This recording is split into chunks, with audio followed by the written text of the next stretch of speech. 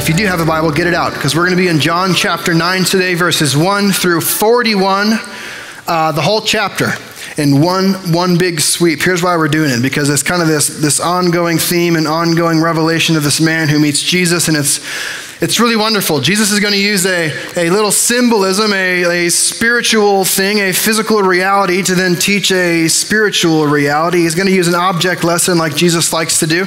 He's done this with water. Remember, he's talked about streams of living water flowing through us. Um, he's talked about it with bread. I am the bread of life, I'm the living bread. He talked about this.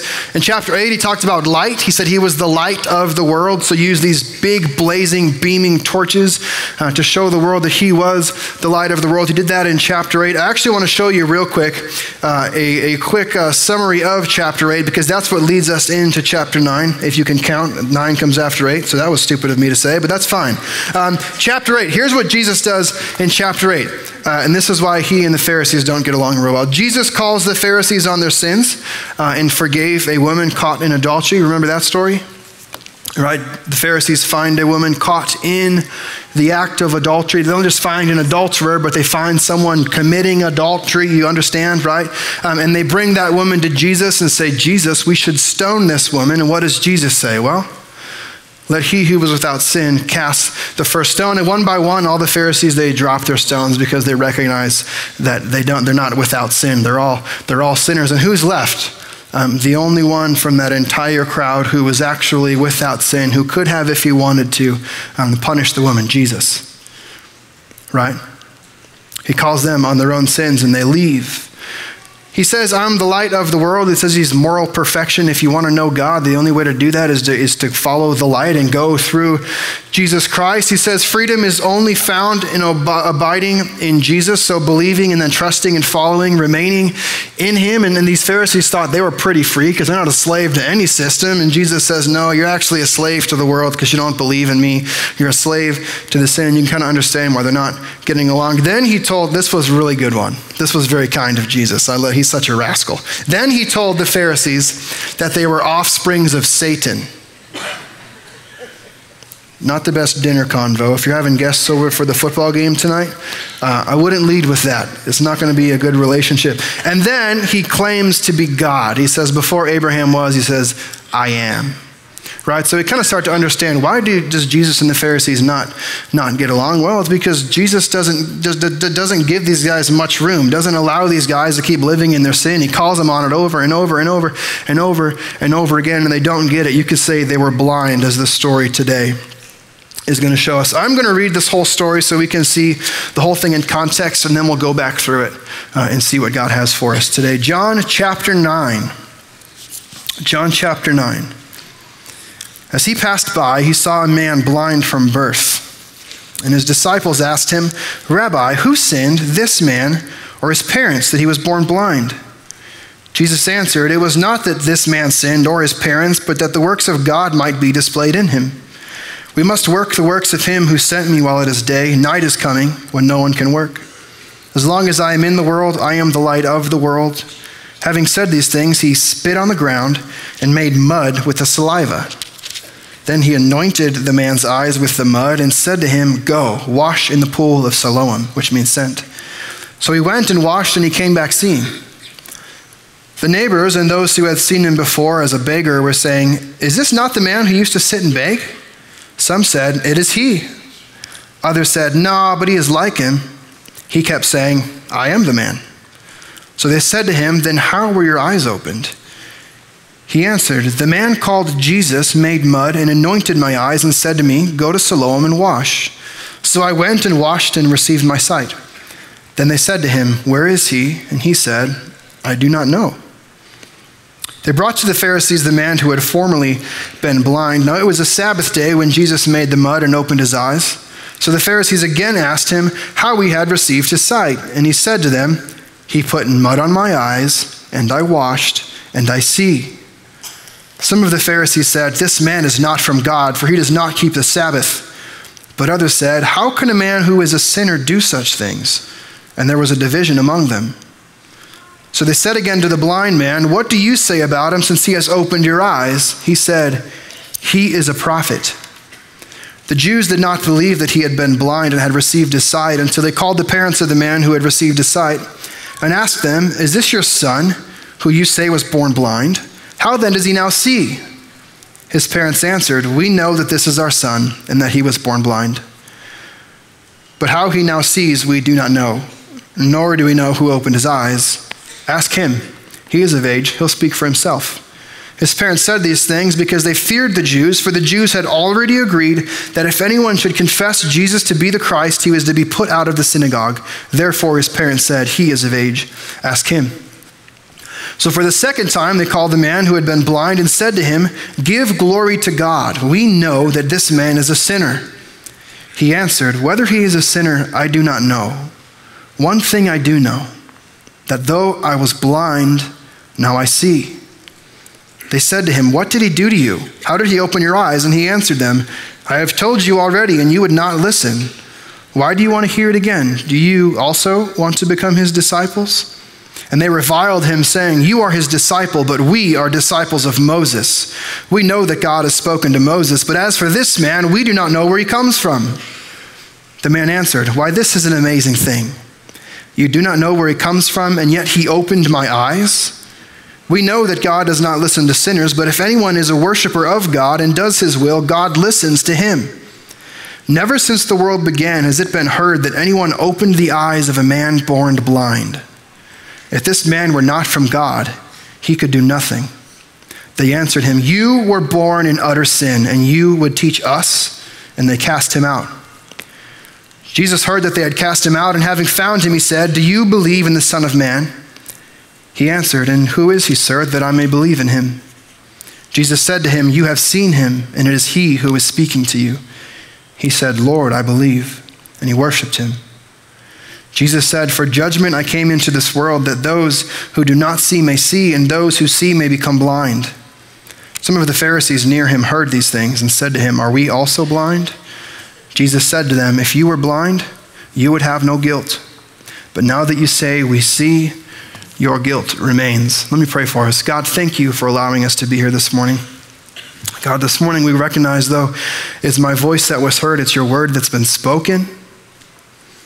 God, this morning we believe that your word is alive, it's living, and it's active, and it's practical and beneficial for our life right now. So, God, would you speak to us through your word? Would you speak to us through this time? Holy Spirit, would you convict us of our sins? Would you change us and mold us and shape us into the image of your Son, who is Jesus Christ? God, would all of this be done for the glory of his name? And all God's people said, Amen. Hey, if you look at your outline this morning, uh, you will recognize that I am not good at outlining. Um, Bob and Les are really skilled in this. They can make everything start with the same letter, and it's amazing. And I'm not good at that. So I accept that weakness, and I hope that it's okay with you that we don't have fun fill in the blanks and things like this.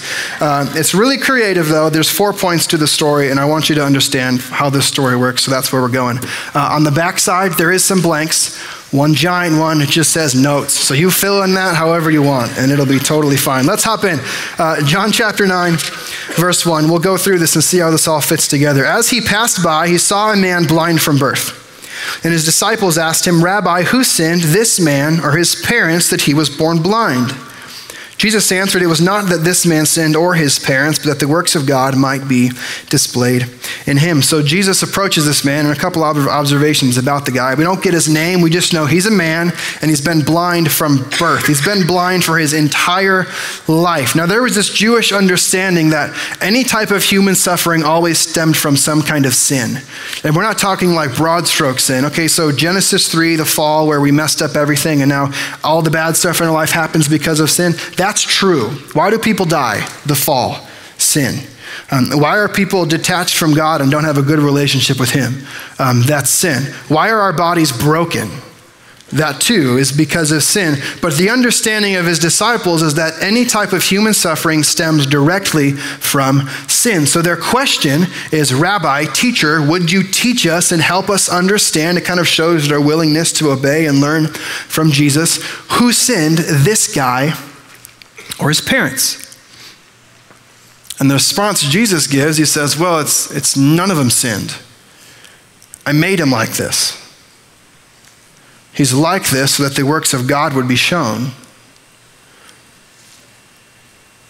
Really interesting because that's the understanding that the people have. And we kind of have the same understanding, right? When we find ourselves in rough situations, our first question is, Why is this happening? Why is this happening? What's going on? Why is this happening in my life? And sometimes I wonder if God is looking down on us and saying, like, hey, like it's, it's just because I'm working here. Like it's because I'm, I'm doing something here. This whole situation is happening so that the works of God might be displayed. The Apostle Paul in 2 Corinthians 12, verses 7 through 10. Again, if you're taking notes and stuff, just write that down. 2 Corinthians 12, 7 through 10, and you can feel great about that outline.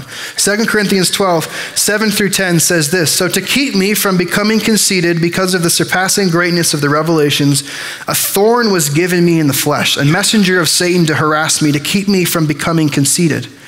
Three times I pleaded with the Lord about this, that it should leave me. But he said to me, my grace is sufficient for you. My power is made perfect in weakness. And Paul says, Therefore, I will boast all the more gladly of my weaknesses, so that the power of Christ may rest upon me. For the sake of Christ, then, I am content with weaknesses, insults, hardships, persecutions, and calamities. For when I am weak, then I am strong. For when I am weak, then I am strong. So, why did God make this man in, in this weakness? So that God could display his power within the weakness. So that God could show himself to be good, that God could show himself to be gracious and kind and merciful and compassionate in the life of this man who has been born blind. Verse 4 We must work the works of him who sent me while it is day. Night is coming when no one can work. As long as I am in the world, I am the light of the world. Jesus is referencing, hey, I'm going to die and then I'm going to leave. So the light of the world is leaving. Right now it's day because the light here, uh, once the light leaves, night is makes sense. This is, so he says, we got to work because I'm here. Let's get this done. Let's do some gospel work right here, right now. And then they come across this man, and then Jesus does gospel work. Verse 6 Having said these things, he spit on the ground and made mud with the saliva. That's gross. Then he anointed the man's eyes with the mud. That's grosser. And said to him, Go wash in the pool of Siloam, which is necessary at that point, right? So he went and washed and came back seeing. Now put yourself in this blind man's shoes for a second, okay? Try to um, see with his eyes, if you will, which you can't. It's, it's a pun, it's funny. Um, so imagine you're this guy. You've been blind from birth. All you've ever known is, is, is not seeing anything. You've never seen, you don't know what light is, um, but off in the distance, you hear this interaction with this Jesus guy, maybe you've heard of, maybe you haven't. Um, the text is uncertain about if the guy knows who he is. Uh, and his disciples say, Rabbi, that blind guy over there, uh, and, and, the blind guy's like, okay, here we go again. They're talking about me because this is what people do. They always talk about me. They look, then they try to look away as if they're not really looking because they don't want it to be awkward, right? Um, and, and, and, they hear him saying, "Is Rabbi, who sinned, this man or his parents?" And, Jesus says, "It's not that this man sinned nor that his parents sinned. It's actually because uh, I made him like this." so that the power of God would be shown through his weaknesses. So I'm wondering if this guy's sitting here like, okay, like, what's this mean? Is he going to do something? What's going to happen? Is he going to fix my eyes? Is he going to say, like, be healed? And then I'm going to see. And this is what happens. He hears this.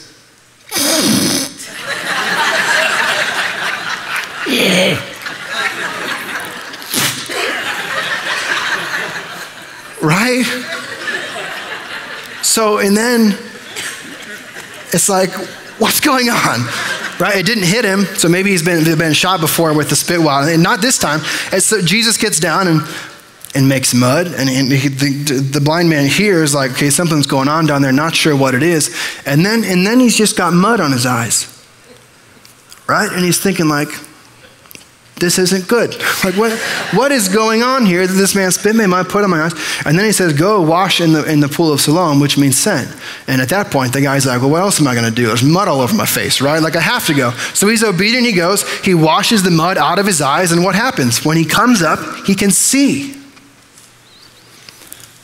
The man has miraculously somehow been healed by his, from his blindness by a dude he still has not seen.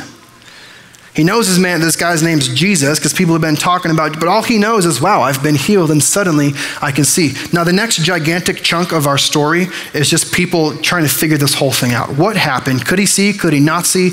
Who's this Jesus guy? What's going on? And then Jesus is going to use this whole object lesson of giving the, the blind man sight uh, and apply it to our own lives. So, the second part of your in depth outline says the neighbors respond. This is their response. The neighbors and those who had seen him before as a beggar were saying, Is this not the man who used to sit and beg? Some said, It's him. Others said, No, but he's like him. He kept saying, Yeah, I'm the guy. It's me. I can see now. The whole town is trying to figure out what is going on because they've seen this guy before begging out on the streets, and now they see this guy walking around. His hands aren't out anymore, and he can see. He doesn't have his cane, doesn't have a shoulder to walk around with. Something has gone on. Verse 10 So they said to him, Then how were your eyes opened? He answered, The man called Jesus made mud and anointed my eyes and said to me, Go to Siloam and wash. So I went and I washed and I received my sight. They said to him, Where is he? And he said, I don't know. Notice the very first thing he says about Jesus. Who did this to you? His only understanding of Jesus at this point, he calls him a man called Jesus. The guy they called Jesus. That's all I know. His name's Jesus. That's all I know about him. That's it. This is going to slowly, uh, he's going to get some more revelation of who Jesus is over the course of this text, and it's really, really neat to see him actually come to faith at the end of it. Where is he? He said, I do not know. Point three in your outline the Pharisees interrogate. They're going to interrogate three different times. The first, they're going to interrogate the man. Then they're going to interrogate the man's parents. Then they're going to try to interrogate the man once more, and still they're not going to figure it out. Verse 13 They brought to the Pharisees the man who had formerly been blind. It was a Sabbath day when Jesus made the mud and opened his eyes, which gives us some insight as to why the Pharisees are once more upset with Jesus. Uh, you weren't supposed to knead clay. You weren't supposed to knead bread. You weren't supposed to do anything like this with your hands on the Sabbath. And they are, well, Jesus must have done this with his hands on the Sabbath, so we got to go get him. Um, and they try to go get him, and Jesus doesn't really care about their whole system. Jesus likes to pick up their system and then throw it on the ground, which is what he's going to do again. So the Pharisees again asked him how he had received his sight. And he said to them, He put mud on my eyes, and I washed, and I see. Some of the Pharisees said, This man is not from God, for he does not keep the Sabbath, talking about Jesus. But others said, How can a man who is a sinner do such signs? And there was a division among them. This is what happens with Jesus, by the way. Jesus is very divisive. Um, you either believe in Jesus and understand that what he's doing is what he's doing, or you reject it and you say, no, he's crazy, he's a sinner, he's a lunatic, he's definitely not the Lord. There's one or the other. There's not this whole middle ground that we like to play sometimes. You got to choose. You're going to believe in Jesus or you're going to reject him. Uh, and, and that's where the Pharisees at, their outright rejection of who Jesus is. Verse 17 So they said again to the blind man, What do you say about him since he has opened your eyes? Now look at his response. He said, He is a prophet. He's a prophet. So uh, just a few sentences ago, the man called Jesus. That's what he knew about him. Now he's moving further and further closer to who Jesus is. And here he says he is a prophet, which is close it's still not exactly right, but put yourself in this guy's mind. He's a Jew growing up in the temple, doing all of these things. Um, the highest regarded position he can think of in his entire growing up are the people in the Old Testament that God sent to be the mouthpiece to his people prophets. So, for this man, who is he? The, the most I can think, he's a prophet. He's sent from God um, to be the mouthpiece of God. He's sent from God to accomplish the mission of God. This is who he thinks Jesus is. Now, the interrogations are going to switch from that guy to his parents at verse 18. The Jews did not believe that he had been blind and had received his sight until they called the parents of the man who had received his sight and asked them, and it's four parts Is this your son who you say was born blind? How then does he now see? So, four parts. Is this your son? Was he in fact born blind? Does he truly now see? And fourth, how did this happen? How did this happen? They're going to respond. His parents answered, We know that this is our son. So, your first question is this your son? Yes, he's our son. And he was born blind. But how he now sees, we don't know, nor do we know who opened his eyes. Ask him. He is of age. He will speak for himself. Wow, thanks, mom and dad. Thanks for having us back. right? You made this bed, you sleep in it. Is essential. And, and, we wonder why, why are they not standing up for their kid? What's going on here? We see in verse 22. His parents said these things because they feared the Jews, for the Jews had already agreed that if anyone should confess Jesus to be the Christ, he was to be put out of the synagogue. So mom and dad are faced with a choice here. Well, we can like tell them everything we know about Jesus and, and who we think he is, but it might cost us something. They might kick us out of the temple, and we kind of like being a part of our temple thing in the synagogue and whatnot. It's kind of who we are, and we're not ready to give that up. So what do they do? They cave and just say, well, ask our kid. Our kid is old enough. Therefore, his parents said, ask him. He is of age. Now, it's interesting. At this point in, in, the Gospel of John, we saw in, in John chapter 5, there's some interactions between Jesus and the Pharisees. Jesus says things the Pharisees don't like, so one of the verses reads, uh, And because of this, they were seeking all the more to kill him.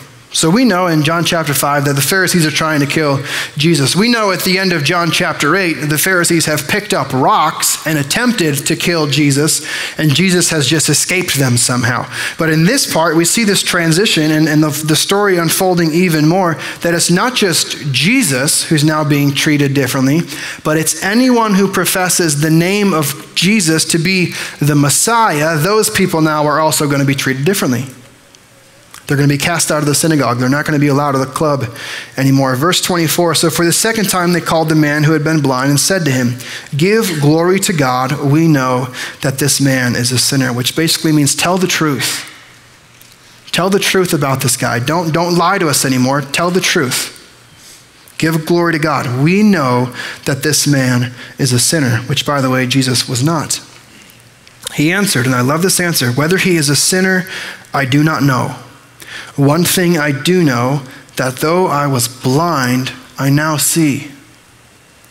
I love, let me tell you why I love this answer. I feel like sometimes um, in our own lives, maybe we feel stressed out to have all of the right answers to all of the right questions all of the time. And when we don't, we just flee. Like, well, they might ask me a question, I don't have the answer to it, and then I'm going to look stupid, and then they're not going to believe in Jesus, so I'm just going to run. Here's what this guy does He says, Listen, I don't know about any of that. You want to know if Jesus is a sinner? I don't know about any of that. Here's what I do know. This morning I was blind, and now I can see. I think there's something in that for us because we've even, even spoken here before. The most powerful tool you can use in evangelism is what? Your testimony right? What God has done in your life. That's not about facts. That's not about knowledge. That's about the goodness of the Lord in your life. So maybe when people ask us things, maybe we should be okay with saying, listen, I don't, I don't have all the answers to that. Let me tell you what I do know. Let me tell you what I, what, what I do know. Um, I, was, I, I was stuck in my sin. I was this way. Uh, I was depressed. I was depending on myself to get into heaven. Does this sound familiar to anyone? I was, uh, I was caught up in my job. I found who I was, my identity completely in the guys I was with, or the girls I was with, or in the job I had. I found who I was in the car that I drove, in the house that I had. And then something strange happened. I met Jesus. Now I know who I am suddenly free from that sin which I struggled with for so long. So, you, you, you they, what are they going to say to that? They, don't, they can't say anything to this guy. I don't, I don't know if he's a sinner. I don't know what to say about all that. Well, what I do know is that I was blind and now I can see. They said to him, What did he do to you?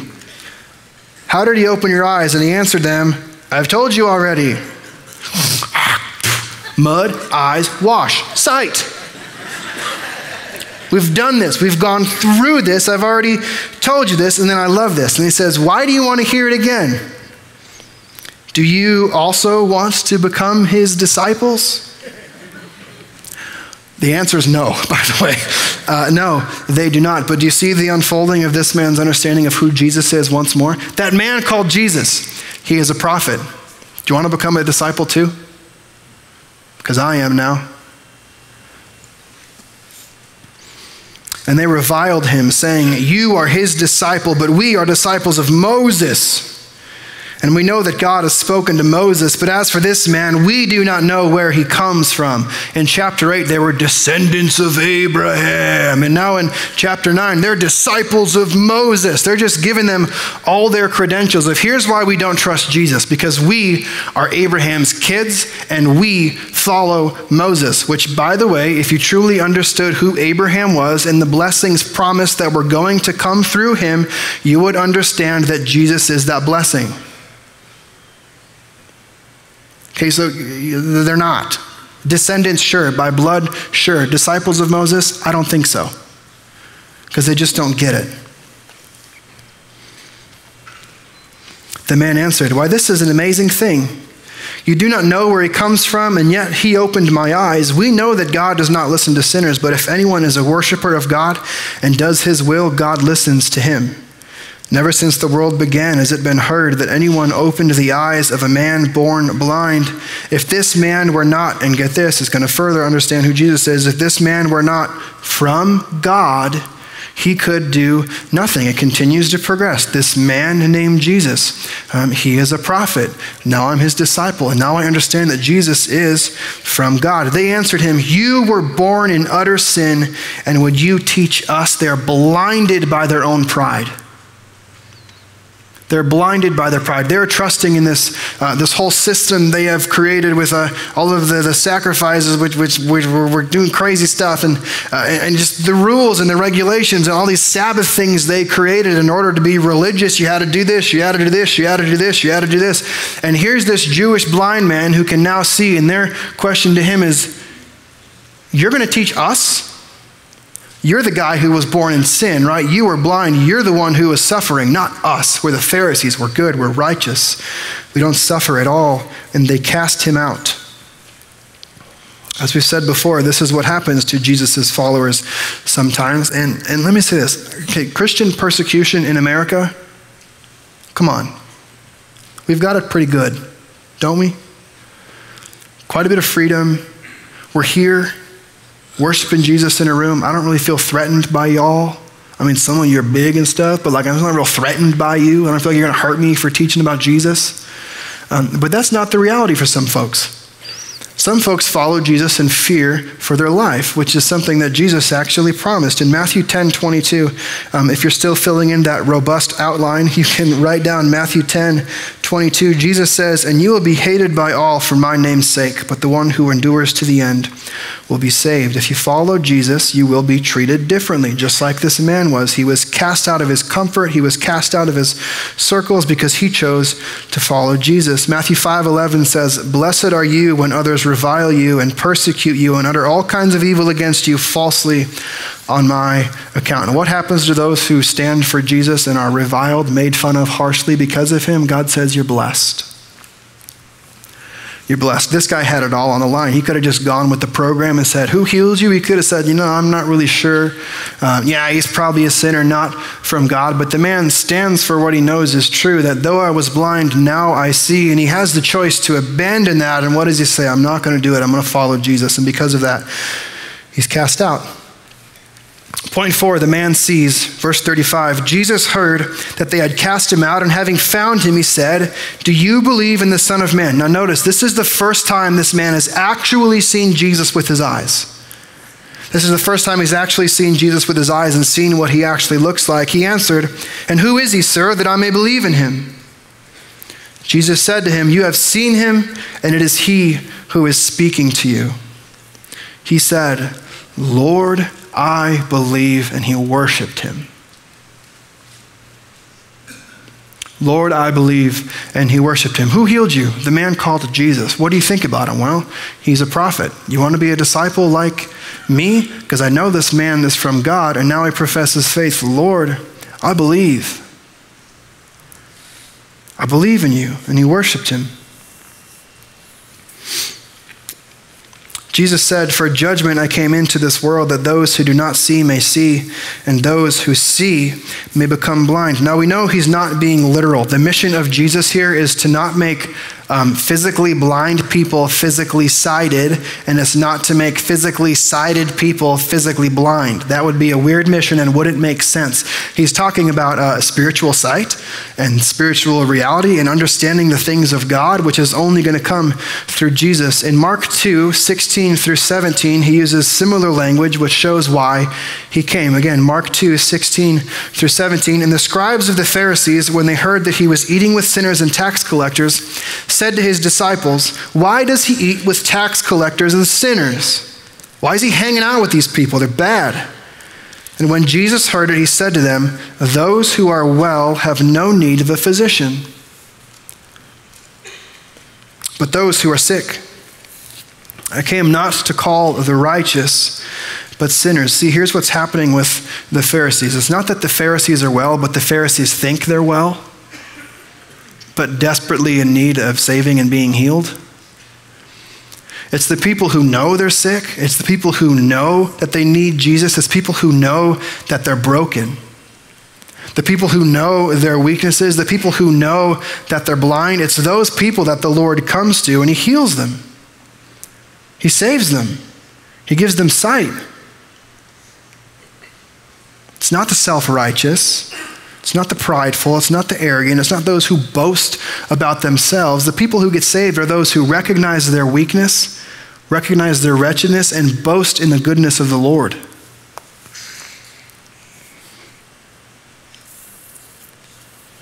Some of the Pharisees near him heard these things and said to him, Are we also blind? Jesus said to them, If you were blind, you'd have no guilt. If you saw your need, if you saw that you were a sinner, if you saw that you were broken, if you saw that you were weak and needed help, then you would have no guilt. But now that you say, we see, more so, they think that they see, your guilt remains. Now, I'm not sure if these are the same guys from before or, night or not, but it's irrelevant because Jesus is still going to keep jabbing the Pharisees until the end of John. Jesus heals a man of physical blindness for the glory of God and then opens his eyes spiritually that the man would believe. Object lesson open the eyes of a blind man. Spiritual reality open the spiritual eyes of a blind soul.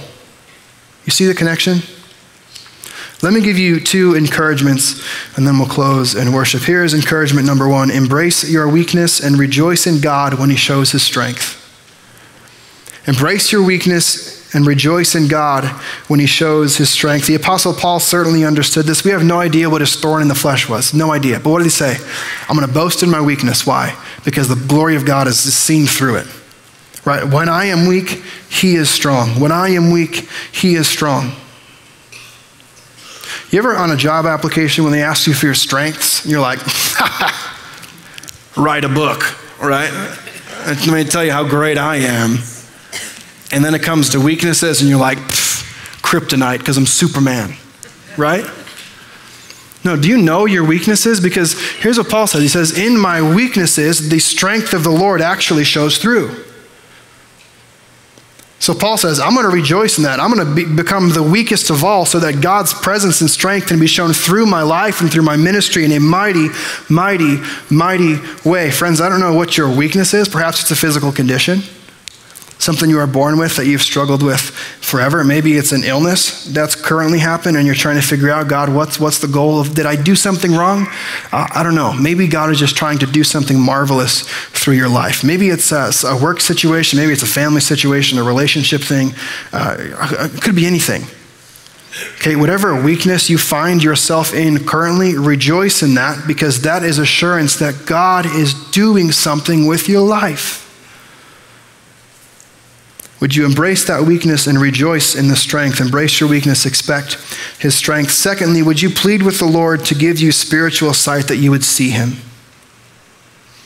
Would you plead with him to give you spiritual sight that you would see him? 1 Corinthians 2 14 says this The natural person does not accept the things of the Spirit of God, for they are folly to him He's not able to understand them because they are spiritually discerned. Maybe you're here this morning and this whole thing just sounds crazy. Well, let me, it is crazy, but it's real.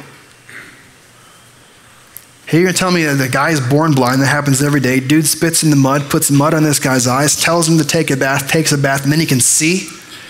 Yes. And now you're going to tell me, unless I believe in that guy, I'm going to remain in my spiritual darkness. I'm going to remain blind. I'm going to be stuck in my pride and my ego and, and this whole thing, and I'm never going to know God? Yes. Why? Because natural man does not understand spiritual things. If you want to see, understand, know the things of, the, of, of God, God needs to give you new eyes. He needs to heal your blindness so you can actually see. That's my prayer for you this morning that you would look to Jesus, that you would look to the King, that you would look, of, look to the light of the world who gives sight to the world. Uh, here's what happens. Let me close with this and then we'll do worship. I know I said that a minute ago, but I'm serious this time. Uh, how many of you have uh, trouble seeing a little bit, like physically? Right? Because this is what happens. As, as you get older, like your sight starts to go right? The other day, I thought about squinting to see better, but I was like, nah, I'm 28. My eyes are great, right? Uh, I, am fine. But here's what happens as you get older in age, your, your sight starts to slowly decline. Here's how it's supposed to work uh, with Christianity and following Jesus. As you get older in age, your sight of who Jesus is and your understanding of the holiness of God is supposed to increase day after day after day after day after day. Here's what you're supposed to do Take the people behind you who don't see as well and help them see Jesus. Now, along this process of you understanding just how great Jesus is, there's this thing down here where you're going to increasingly become more and more and more aware of the sin in your life you're going to become more and more and more aware of your need for a Savior. You're going to become more aware of your blindness and your wretchedness. And that's going to point you straight back to Jesus, which is going to make you recognize the holiness of God over and over and over and over again. That's my prayer for all of you. That this morning, maybe you see God, you believe in God, that you would look to Him once more, that you'd recognize His holiness um, in contrast with your sin, and that you would rejoice in the cross. Because, like a blind beggar, we need to come before Him and say, Lord, I need you. Can't do this on my own. I can't see without you. That's what I'm going to have us do right now. If you would stand up, um, we're not going to do anything weird. Stand up like you're excited about Jesus. Come on. Would you do this for me and just embrace the posture of a beggar?